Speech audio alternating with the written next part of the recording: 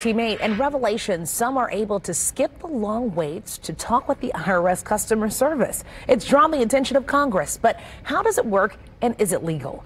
I-Team 8 Jasmine Miner did some digging for us and joins us now with those answers. This is one of those things you look at and you're like, what? Yeah, a lot of people are really frustrated with this. I can't lie, Alexis, but uh, this is how it works. Okay, so private taxpayers are using robocall systems to dial the IRS and hold the phone lines for what could be several hours. That's when they charge customers to jump on the line and replace that robocall when the wait is nearly over. So it means those with the extra money are getting to skip the frustrations that millions of others are forced to endure. I'm concerned. You know, is it going to be the same situation this time as it as it was last year. In January, Greg Geisler, a clinical professor of accounting with Indiana University, said yes. The IRS answered 11% of the phone calls they received last year.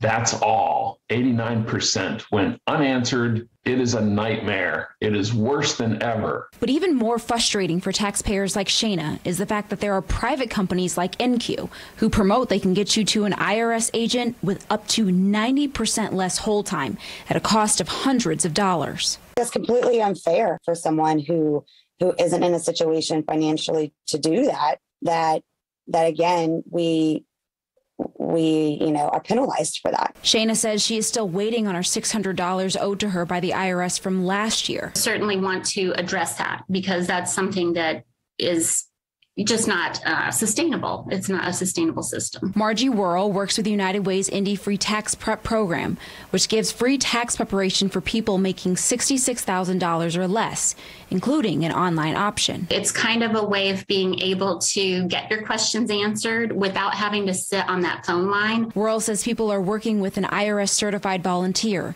which means they understand the system in place. I'm kind of suggesting our program as a backdoor so that they don't have to um, be on the phone if they're trying to do their taxes themselves it can be very complicated. As another way to skip the line without having to pay up. Just frustrated um and you know it's stressful. It's stressful Indiana Senator Todd Young sent this letter to the IRS questioning the practice and saying paying to receive preferential access to the IRS should not be permitted. He also calls on the IRS to dramatically improve the quality of service.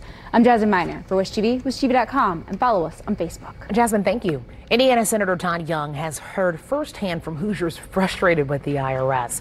He says his office has helped more than a thousand Hoosiers get help with their 2020 tax returns, and he also says his office still has more than 100 outstanding cases, and the number is growing daily.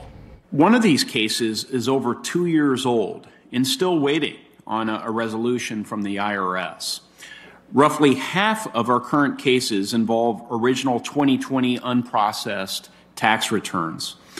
We're already in the midst of the 2021 tax filing season, and the IRS has still not processed 2020 tax returns.